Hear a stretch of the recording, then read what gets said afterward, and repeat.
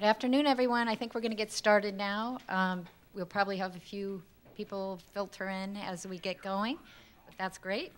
Um, I'm Betsy Peck Learned, Dean of University Libraries, and I'd like to welcome you to our second Talking in the Library event um, for this spring semester, featuring the cartoonist, playwright, and children's book author, Manjula Padmanabhan. Our Dean of Architecture, Art, and Historic Preservation, Steve White, is going to introduce her in a moment. But I'd like to tell you a little bit of, about this space that we're in and the endowed series that accompanies it. Um, we're meeting this afternoon in the Mary Tefft White Center's Instant Theater. And Mary Tefft, or Happy White as she was fondly known, was a dedicated alumna of the university who earned her bachelor's degree late in life. I think she was in her 80s. Um, it was her generous endowed gift to Roger Williams University Library over a decade ago that made both this space and the lecture series possible. Her hope was that by introducing our students to accomplished individuals who would share their personal and professional stories, that our students would be inspired towards the selection of their own career paths. Um, we are also grateful to John Hazen White Jr., who is Mary Tefft's son, uh, for continuing his mother's legacy by supporting the transformation of the cultural center into this instant theater. And the instant theater can actually transform from a student study space, which is largely how it's used during the day, into a presentation space such as this, although our facilities department got a little confused about the arrangement of things today, so I apologize for that. Um, we have one final Talking in the Library event um, this semester, on Monday, April 3rd, as part of our Vermont Writers Fellowship, another endowed fellowship on campus for creative writing students, we will host the author Rick Moody as our distinguished visiting writer. Rick is best known for his, uh, his novel, The Ice Storm, so that was made into a, a motion picture. And his latest novel is called Hotels of North America, and if you haven't read it, it's hilarious. Please read it. I am laughing out loud reading it. It's a, it's a uh, comes from the perspective of a blog poster who is a reviewer of hotels in across the world. It's really, really interesting. Um, this event will take place Monday at Rogers Free Library in Bristol at 7 p.m. So please come. And finally, please stay tuned for our events for the fall, which will be published um, soon on our library website. And now I'd like to introduce Steve.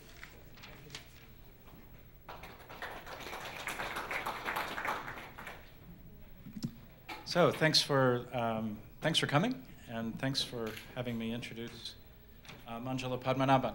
Um, there's a uh, PowerPoint loop on the screens of some of Manjula's uh, work, some of her drawings and, and illustrations from, I think, 1970 until uh, about 2008. And uh, including when it comes around again, uh, her first published drawing is the one with the guy that says bus on his t-shirt. Um, from, it has 1970 on it. Um, and Manjula is going to talk uh, mostly about her work uh, as, uh, with a cartoon called Suki that she's uh, done in a couple of incarnations. Uh, and so um, I'll give some overview of, of her career so far and um, also some, some uh, sort of personal thoughts in, in knowing her over a fair amount of time. It's, it's great to, to be here with you all and, and with Manjula at Roger Williams. Um, and it's amazing to say that actually we, uh, my wife and Marion and I have known Manjula now for 30 years, which is amazing that anybody can say that or that I can be in a body that could say that. But I guess it happens. And she's also known our daughters all their lives. Uh, Manjula will talk about her work as a writer and artist in several formats. And there's also a display case uh, out just outside the glass walls that's full of all kinds of things that Manjula has uh, transformed by her her uh, artistry or the things that she brings to uh, stories, plays, um, illustrations, artwork, bowls, cups. Uh, there's a scarf that is very cool, a latest thing that I, but it's not in the case, but uh, you'll have to just hang around some.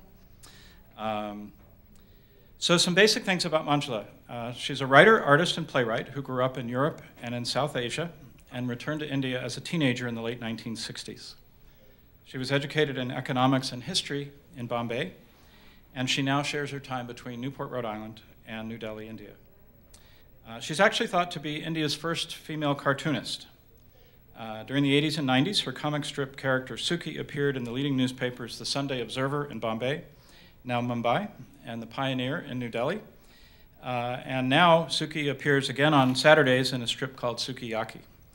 Uh, in 1997, her play Harvest was recognized as the best new international play by Greece's Onassis Prize for Theater, which is similar in award funds and in, in reputation to the US MacArthur grants. The play about selling organs, souls, and human dignity in a global marketplace has been performed in Asia, the UK, and the US at many college campuses and other venues. Since then, she's published a number of books, including Hot Death, Cold Soup, uh, Getting There, Hidden Fires and Other Monologues, Escape, Three Virgins and Other Stories, uh, one of my favorites, Astronauts, an intergalactic, com intergalactic comedy. And uh, she's also published a series of books for children as an author illustrator, including A Visit to the City Market, uh, Mouse Attack and Mouse Invaders, and a series of picture puzzle books, including We Are Different. Uh, her most recent book is the science fiction novel The Island of Lost Girls, which is a sequel to Escape set in the not so distant future when men and women struggle against one another in a gender battle. I'd like to share a few other things uh, from my, my perspective and from my wife's perspective, sort of blended together. She wasn't able to be here today. Hopefully, without going on too long, uh, which unfortunately, those of you that know me, I, I can do sometimes. Um, um, some things that I think, in a few, few points, um, that I think are really important about, about Manjula and who she is, and, and that illustrate her work. Um, she's always pro projected a sense of belonging throughout the world. I think she's never wanted necessarily to be seen as Indian or Asian or American or anything else, but just uh, kind of being a person is, is, a, is a nice idea. And, um, and also, I think at the same time, with that common sense of humanity, she's also felt separate, uh, even alien. Um, or as she says it uh, sometimes, uh, she actually has a blog called Margin Alien, which I, I, uh, I call her sometimes, and um, with affection, of course. And um, one of the things I've always liked about Marginalien is I've wondered if it was Manjula's way to make, make it easier for people uh, from our part of the world, sort of the equivalent of Padmanabhan, which we sort of can't say. And so Marginalien, maybe it's a little bit like a, like a name we can't pronounce. I don't know. I, I laugh to myself about how clever I think I am on that sometimes.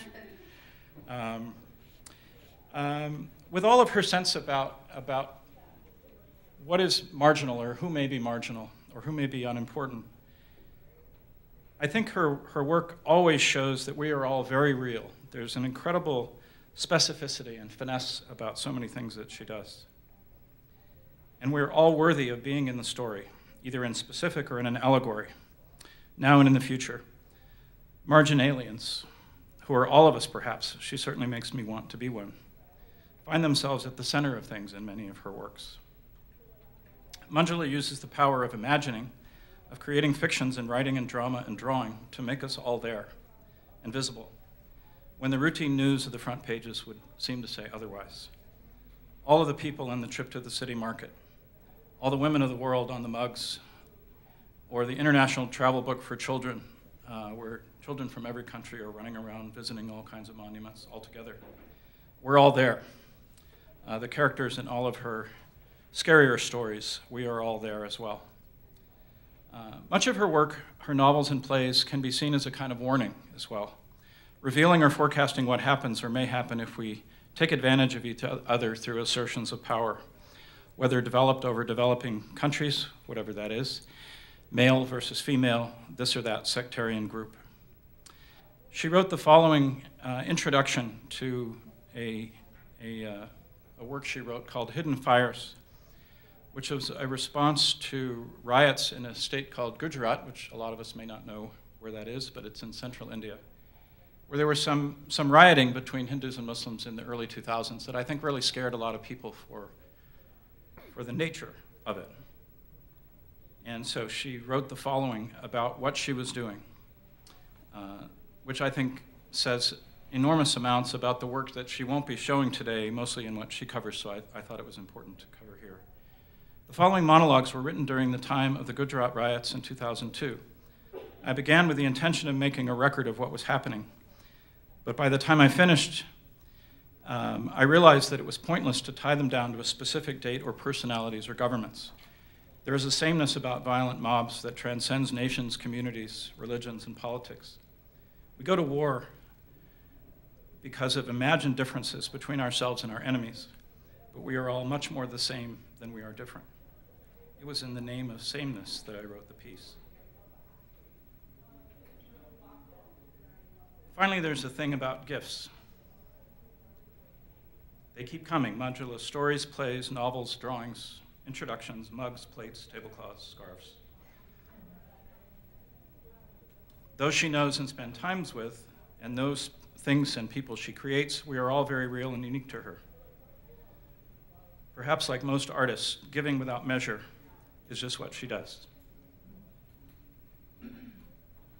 Her gifts always expand the circle where we can belong, where we build connections, between ourselves and worlds we inhabit, even when these are challenged by the horrors we seem to be able to visit or threaten each other with.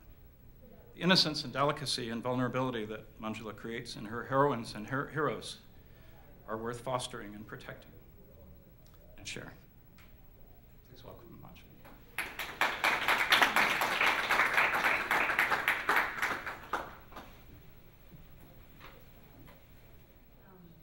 Thank you, Steve, for that extraordinary uh, introduction. I'm not sure that I can possibly live up to what Steve said about me, but um, I will go with what I've written and uh, stop with just saying thank you, Steve. Um, as must surely be obvious, we uh, have a very, very warm and long standing friendship, and I'm not going to try and cover it in this, uh, this session. I'd also very much like to thank Adam Braver and Betsy Learned for making this event possible. And um, I've visited uh, RWU over the years with Steve, in the company of Steve, but um, to be given an, an, opportunity to talk to the students here is, is a great privilege, and I, I always consider it a privilege. It's, it's an extraordinary thing to be given the, the, the chance to talk, uh, not as a teacher, but as a, just as a person. Um, so today, um, well, in, I've been living in the US on and off uh, since uh, 2002, and specifically in Newport since 2010. And of course, part of the reason that I chose Newport from, uh, from the various other options in the country is, of course, because Steve and Marion live here, and it, it helps to have a friendly family to live close to. Um, but um, I've, I've often been invited to colleges uh, to talk uh, over these years. Nearly always, in fact, I, I, should say always, it's, it's been in connection with the play Harvest that Steve mentioned. And um, Harvest, uh, you know, I wrote it in 1996. In 1997, it won this big prize. And it's received more attention than anything else I've done. And it, of course, also hugely changed the direction of my life. So I'm very grateful to Harvest. And I'm nearly always, again, nearly always asked to talk about my process as a, as a playwright and as, a, as an author of novels and short stories. But I call myself an author and an artist. And I very rarely talk about being an artist because I'm, as I said, I, am nearly always invited to talk specifically about Harvest, and it's because theater groups have discovered Harvest in various collections, and again, I suspect uh, whatever other qualities Harvest may or may not have, I'm sure it makes a difference that um, as a woman playwright from the developing world, uh, I fit a certain slot, and it becomes kind of interesting to invite me for that reason. I'm not, you know, I'm not presuming here. I think I think that's just how things happen, and I'm grateful to Harvest, so I'm not putting it down. But this is really the first time that I'm going to be talking about my artwork, and in and specifically, I'm going to be talking about my cartoon character Suki, and um, in a sense, I, uh, I owe Suki and my artwork more than I uh, usually talk about because um, when I was in, in Bombay um, in college, um, I, I w- it was a moment of, um, I, I, mean, it was a period of great crisis for me in one sense, because as Steve explained, I grew up outside India, and at the time that my parents retired, um, I returned to India at that very uh, crucial period in my life, that is in my mid teens. And uh, suddenly I was, um, I felt um, so, to some extent imprisoned in, in a country that I didn't know at all and in, in, in, an, in an identity that was unfamiliar to me, that is, of being an Indian citizen. Um, and um, as soon as I could possibly start thinking that way, I wanted to escape the confines of my family. And uh, I, you know, I had grown up in an extremely protected environment, so I had, I had very little idea uh, how very difficult it is to, um, to uh, fi finance one's own life. I didn't know.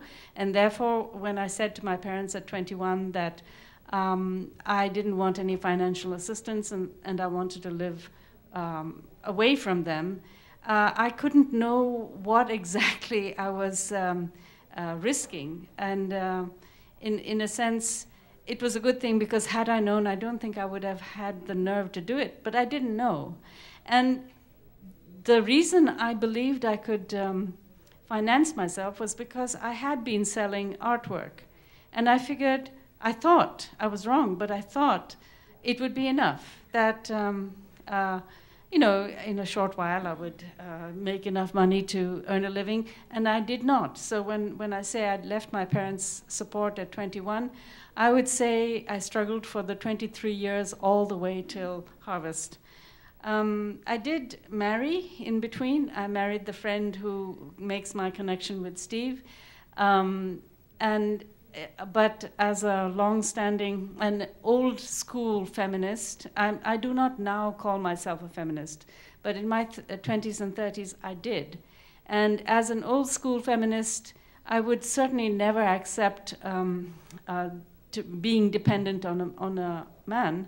So I have always um, supported myself. I've always been independent financially, and I I believe that that that is the ultimate freedom if you can pay for yourself.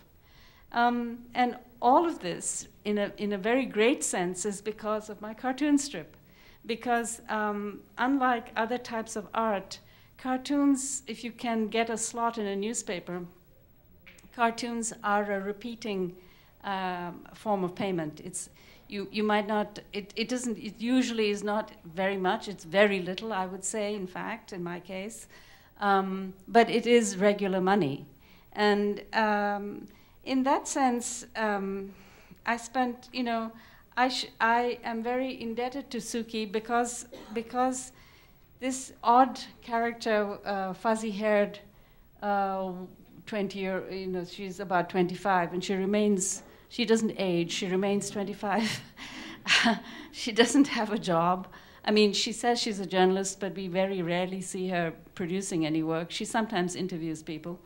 But um, she lives a very shiftless life. She doesn't have, um, she, she doesn't, ha- I mean, she has once or twice had a, a boyfriend or two, but they're, they're, they don't last long, and her, her best friend is a frog.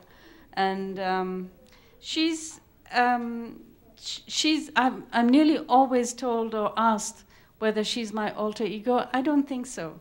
She started off as, um, as someone based on me, and I used to think of her as me. But uh, there was a period when I broke off, and she became she. She became herself. So, what I'm going to do, since this is going to be about Suki, I'm going to take us um, on a brief trip uh, uh, through her life. And one of the things that I, th- that I think you might notice, the early drawings, so this is the very first uh, published Suki strip. And um, when I look at it now, I'm very conscious that the, the drawing style is um, very, very much more uh, scrappy and less I mean, the lines are uh, kind of un- irregular, and more than anything else, the script is kind of unreadable. Uh, you're seeing it up big on a screen, but this appeared in a newspaper, and it, it was not easy to read. Um, so, one of the first things that happened was uh, the, the way that I, I found myself having to clarify the script and um, to ease up on the drawing so that it, it, my lines were clearer and, and better formed. Um, and I, um, I found myself um, always having to play a game with space because one of the issues with doing a comic strip is that you need to be able to uh, draw characters who are easy to repeat over a series of frames. Because it's fairly, in an illustration, some of the work that you saw uh, prior to this, uh, this PowerPoint, that earlier work is nearly always illustrations, and it's it's easy enough. I mean, well, it takes time, but you can do a drawing with a lot of detail once. But uh, I very quickly stopped drawing any um, decoration onto the clothes of, of my characters because I would have to repeat them in the frames. And uh, um, so here's the frog. The frog became, this was his, his appearance on the strip. He, he became Suki's most constant companion he's really grown in uh, character and uh, his, his ability to say interesting things. Um, this, was, this was when the strip became uh, daily. It appeared six days a week in The Pioneer. And it, it gave me, um, people used to, to ask me whether it wasn't a huge uh, effort to do a daily strip. But in actual fact, I delivered the strips um, uh, once a week. That is, I delivered six days at the same time every week. So, it, in a sense, it isn't it isn't more effort because you just um, you you get the the um, dialogue to flow across six days rather than six frames, and it's not really that much of a stretch. But um, the weekly strip gave me a tremendous freedom to explore uh, ideas that would normally not be expressible in any other form. Um, my this this character in the burqa, she was one of my favorite characters, in part because she was so easy to draw. uh, another favorite character was a python, but I'm not sure that I've included the python in this series. Um, so I, I, I really um, found myself uh, using my strip as a way of uh, expressing ideas that are, are not big enough to be short stories or to be articles, but as a way of, uh, of talking about issues which, which are just almost um, little more than a feeling, just a little, a, a, a, little tickle in the brain. That I don't think I produce uh, cartoons that are that that are laugh worthy, but I, I aim for a little tickle in in the mind. And um, in the course of the years that I produced Suki, that is the 1980s and 1990s, I um, I found myself um, gradually, well, like this one is, for instance, it refers to feminism. In the course of the time that I worked on Suki, because I was aging, I found myself becoming less um, interested in specifically feminist themes.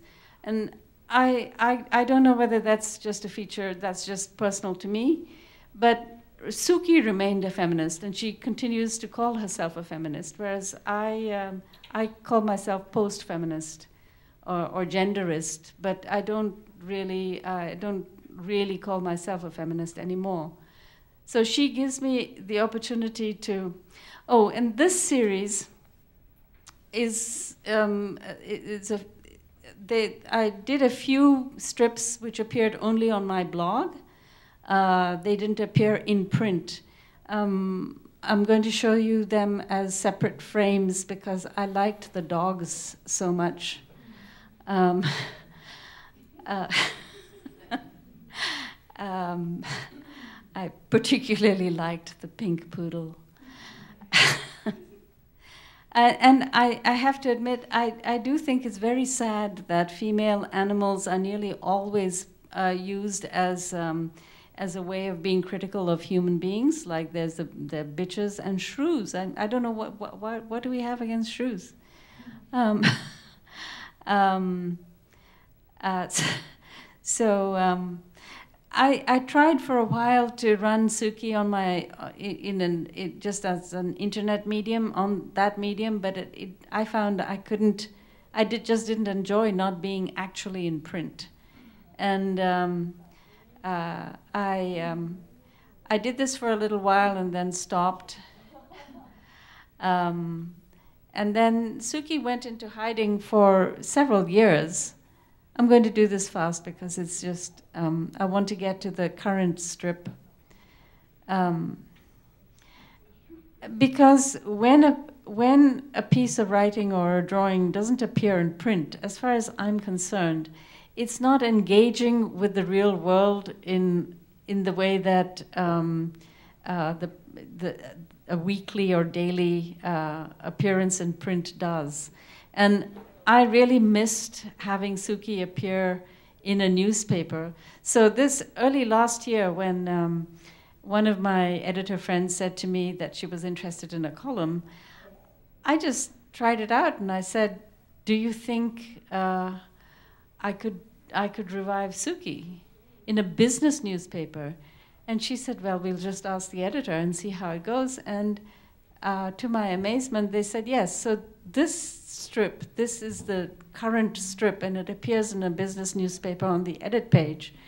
I have absolutely no idea what uh, Indian businessmen make of this strip.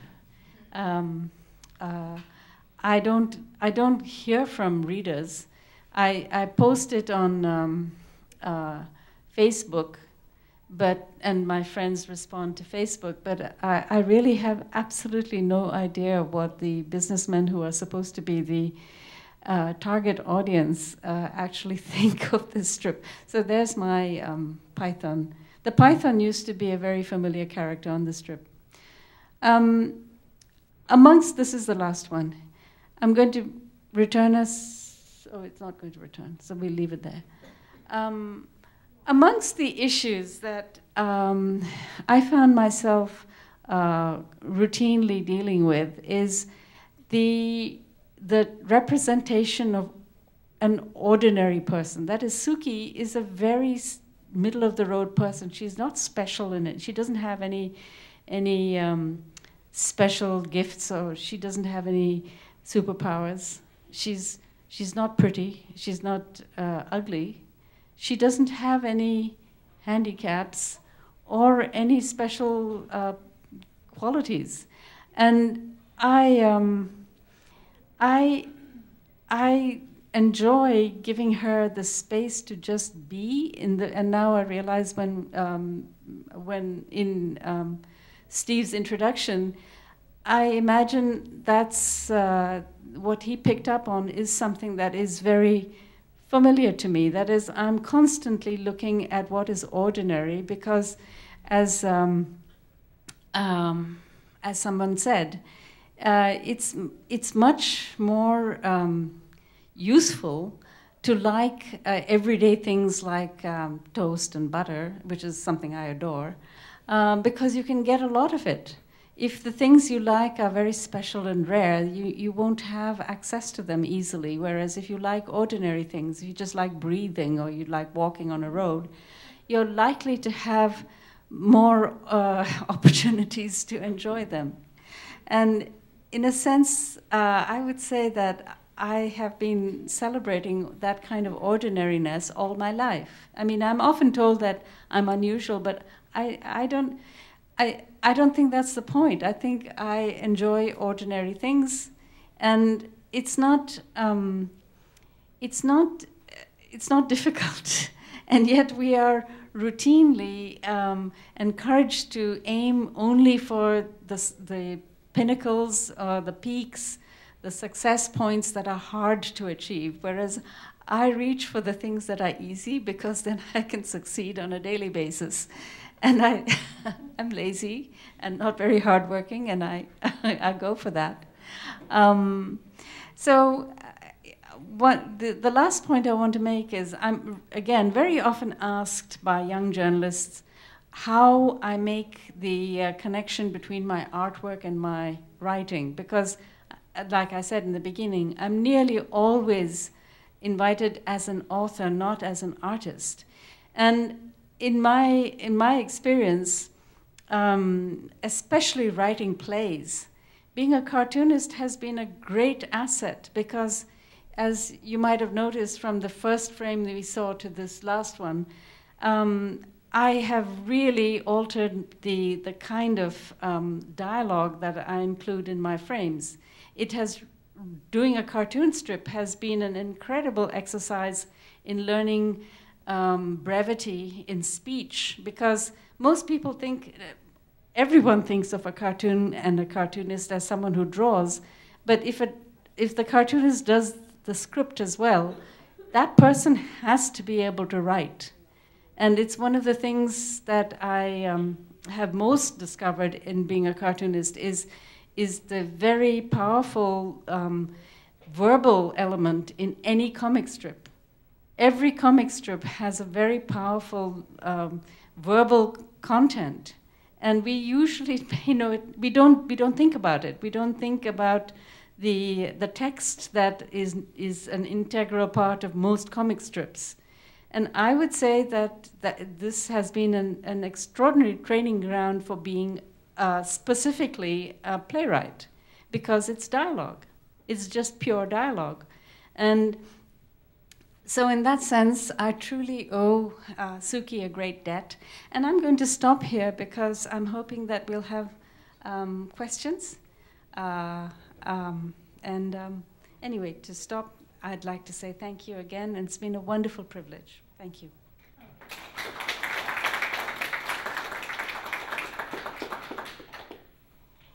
Yes, go ahead. Do you find one medium over the others to be more rewarding and satisfying for you?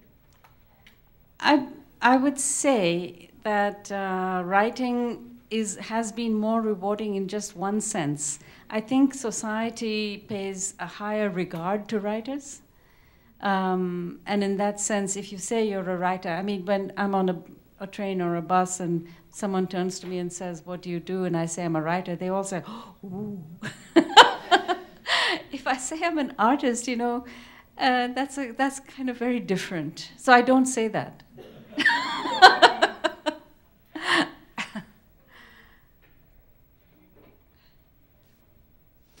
Yeah. Can you tell us a little bit about your process as an artist, as a cartoonist? Do you sit down and get an idea for a picture, and does the picture then elicit words, or do you have an idea oh. of words that elicit?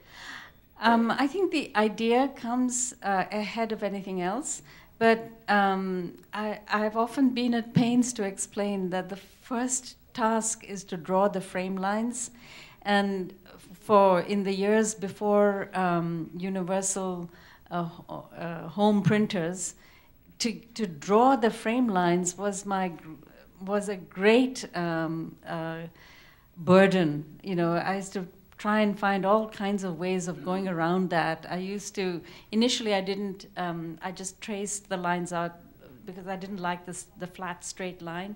I liked um, a slightly less rigid line. But the effort of drawing the frame lines, you would think, it's, you know, it's nothing. It doesn't take any mental effort. But it's boring, and I can't explain how I used to hate setting up the frame lines. And some part of my early efforts with Suki were, were all about um, uh, working out the, the method of drawing, drawing the frame lines on, large, on a large uh, sh uh, sheet of paper, and then working out the, the reduction and getting them delivered to the uh, newspaper office because in the days before email, of course, I would physically deliver them.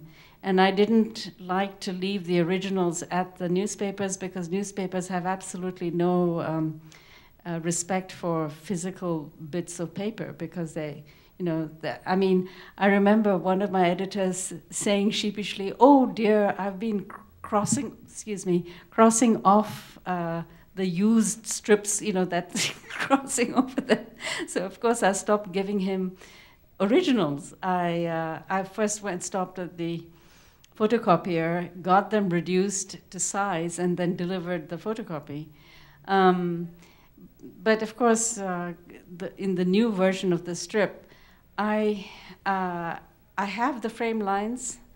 Uh, I don't I don't know in how much detail you want to know, but I have the frame lines uh, which I photocopy on sheets of um, letter, letter size paper, and uh, I draw in pencil um, within the frame lines. I don't ever do the writing till the drawing is over, but I have the idea before I start to draw. So all week, my, my deadline is usually, it's, it's Friday morning, that is, it has to get to the, the uh, Madras newspaper before or around Friday morning their time. So Thursday night is my, my limit. I need to complete it by Thursday. And I can usually do one of these in about three or four hours, but I, I think about it. Uh, it's, it, it's a little, it's a little uh, blinking light in my head all, the, all week. And then when I'm ready to draw, then you know it's quick.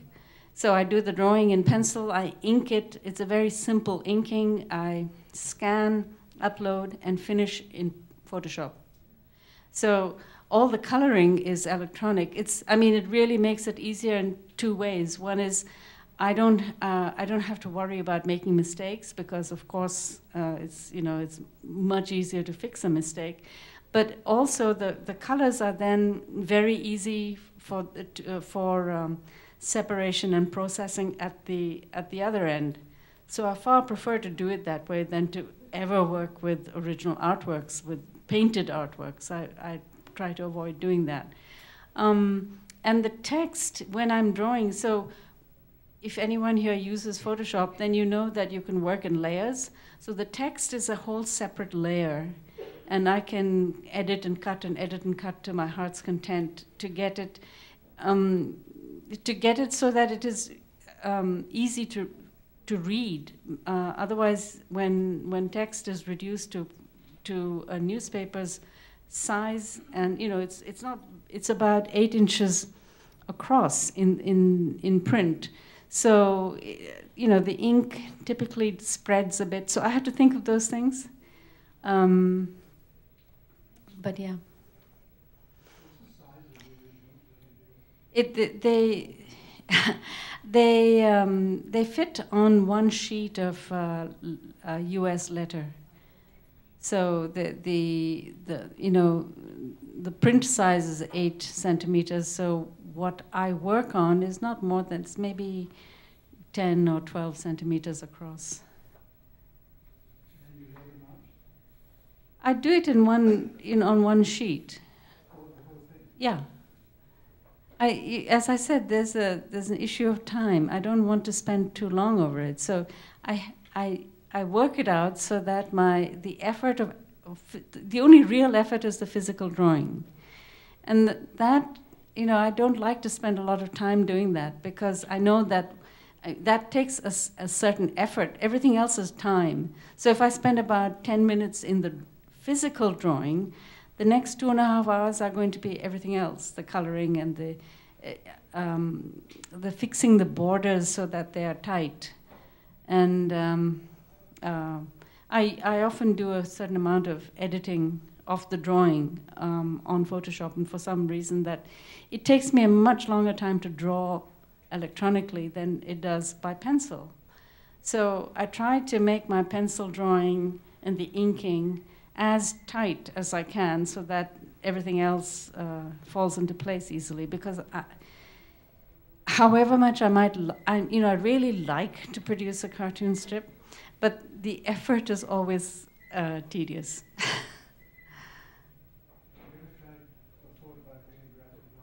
Oh yes, I have a plan to do a gra- graphic novel, but I that'll be a whole that'll be a completely different effort. I have you had a question, Adam.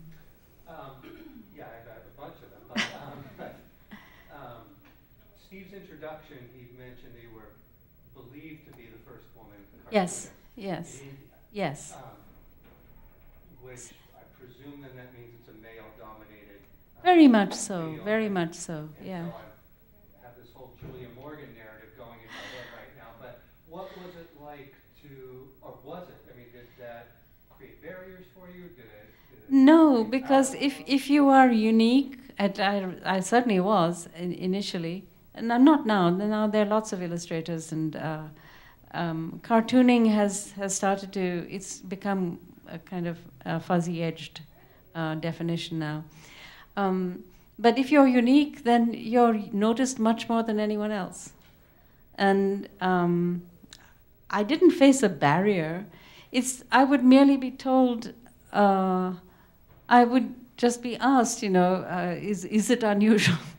but uh, you, that's not something you can report on. I mean, you are just what you are, and uh, um, I, I certainly, as an illustrator, I nearly always got women's issues to draw. If there was an article in the newspapers which was specific to women, then that um, that illustration would be sent my way. And I used to say, you know, I can draw men, and um, uh, uh, and you know, so, but I- I don't think it was. I don't think the if there were barriers, they were they lay in that direction. It had much to do with class. There were class barriers in the sense that for whatever reason, illustrators and, and um, um, graphic artists of the type who work with ad agencies tend to be young men from somewhat disadvantaged backgrounds in India.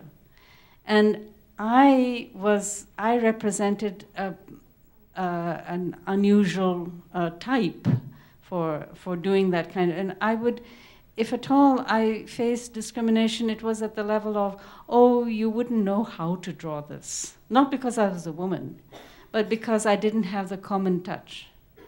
I was, I was told that. Um, and there isn't anything much you can do about that. Yeah. Pardon? yeah. Steve and Marion had uh, come to India to follow their dreams and to meet a very um, charismatic and wonderful person who happens to be happened to be my father-in-law. So we met in the house I was living in. He, he, was, he was the late um, Joseph Allen Stein, an exceptional architect. So that's how we met. Go ahead. Another question. Yes. I am also struck that you talked about how Suki has never aged. Yes. I, however, have. well, and that's the, that's the interesting question to me because you've talked about how s- some of your perspectives changed hmm um, vis-a-vis Suki, but kept Suki Yes, yes. And I'm curious, I, I, I guess I don't know my question. I'm, it strikes me from a narrative perspective how you how you've created a narrative of, of change with a character Right.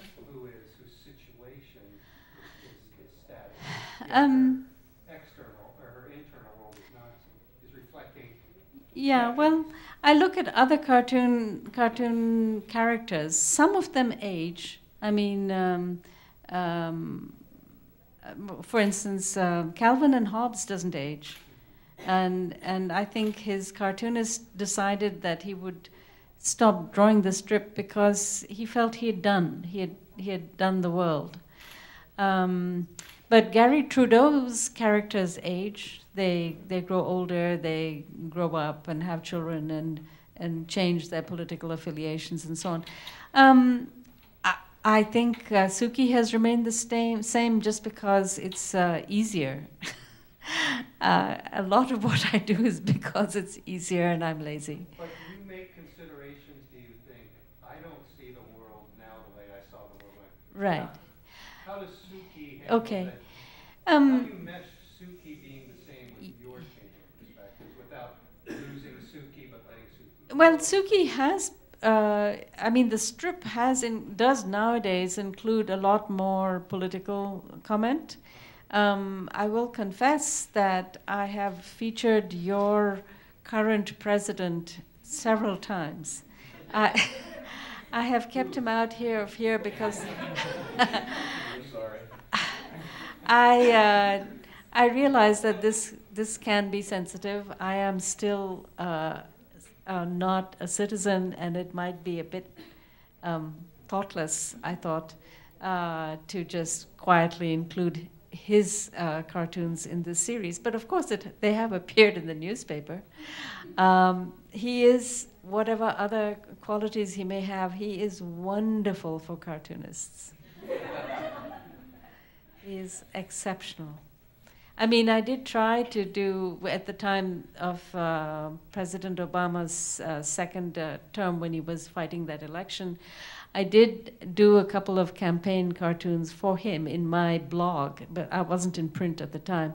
But I found, much as I think he's a wonderful, he, I think he's incredibly handsome, I found it very hard to, to make a cartoon out of him. I, I know that the features are his ears and so on, but I didn't want to cartoon him, whereas uh, the current incumbent is just outstanding.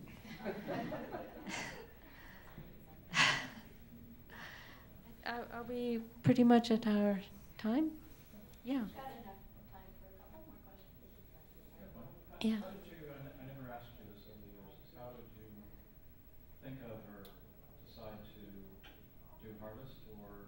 How Um, at one level, the answer to, to the longer part of your question is when I was when I was young. I mean, uh, uh, eight, nine, ten, and around the age that one is thinking about the whole rest of your life. At least I was. Um, um, I had so little doubt that I would be an artist and a writer that it was nothing to think about. It was uh, obvious. It's, uh, but it. I, I was talking about this the other day. I think as a child, for I can't. I wasn't particularly. Uh, I was not unusual in any way, but I had huge confidence in myself, and maybe that's a feature of children. Children are very confident until the world breaks them down. In my case, for whatever reason, I was not broken down, and I I had uh, every reason to. I had I failed a great deal. I, a lot of things went wrong for me, but I just I just never worried about my abilities. Not because it's. I have to keep saying this. It's not because I was wonderful. I have really had to work hard to improve my my everything that I've done. I mean, if you see the if if if you look at the artwork, you'll see there's a huge change between 1970 and now. And what I can do now and what I could do in 1970 is hugely different. But the confidence, in fact, I would say that as I've grown older, I've become a great deal more humble. And I know how little I can do compared to what can be done. But as a young person, I was very confident. And so that answers why did I why do I do a range of things? It's because there are many entry points to being an author. There are many entry points. You can be a short story writer or a journalist or a novelist. But writing plays was a whole other thing. I had never planned to be a playwright. And I wrote my first play because um, a friend with whom uh, we were we were having a conversation about nothing in particular, and she quite casually, and then with I mean, when she told me, she told me about an incident that she had been a witness to, a very brutal incident, and uh, it left it made a huge impact on me, and I, um, when I went to my editors and said, you know, I've heard about this incident, and they, it, but it could not be a news story because of uh, there were no witnesses. It had taken place a year earlier. There was no no site to visit, And one thing led to another, and rather than write it as an, any kind of article or an essay, I uh, chose to write it as a play called Lights Out. And Lights Out is uh, a short play, maybe an hour and a quarter or shorter than that, in which a group of six people um, are witness to a gang rape and they do nothing. So the point about the play is not the rape, the point about the play is the doing nothing when you see a horrific crime. You don't see, the, the audience doesn't see anything, they just hear these people justifying doing nothing. Um, uh, and it did happen, was that um, at the end of that, I didn't. I attended a, a performance of, of, of, rehearsed reading. I hadn't been to any of the rehearsals, so from, I, I was just in the audience for the rehearsed reading, and I had not al allowed myself to to think about what it would be like uh, to hear it, to respond to it as an audience member, and it was. I was caught up in the events of, of the, the performance. But at the end of it, every, because it's very disturbing, it's a disturbing play. At the end of it, I was really quite shocked that everyone turned to me for, for reassurance and for help with uh, what to do next. And uh, that, that's, okay, thank you. So that sense of being suddenly alone you're, no, you're not part of the audience. You are the person who did this, who created this experience. That sense of responsibility um, was, was very humbling. Um, the realization that something had been set in motion almost, not by chance, but without, I had not considered the effects of words uh, uh, on a whole room of people um, because they were they were badly disturbed, and um, I, I realized it's an extraordinary power and res a responsibility. So everything, all the plays that I've written, have tended to be uh, socially aware in a way that some of my most of my other work, like for instance, uh, Suki, was never socially aware. Much this current strip is much more so, but. Um, I, I don't think my work before Lights Out uh, was uh, that I was really conscious of being of social issues in quite that way, uh, because I hadn't discovered that particular power that uh, performed art can produce. It doesn't always, it doesn't have to, but it can. And um, I think I, I think I kind of covered that. Yes. Hi, thank you very much. Is there, um, is there, or can we look forward to a Suki collected works? Yes, there, there is already one. It's, it's uh, collected. so there's, that's, that's a Penguin Puffin publication, an, an Indian uh, publication. But my current publisher is, we're, we're working on um, a much more extended collection of uh, all Suki. So, yes. Thank you for asking. So, shall we wrap this up? I think so. I think we're out of time. Yes, okay. so Thank you. Thank you.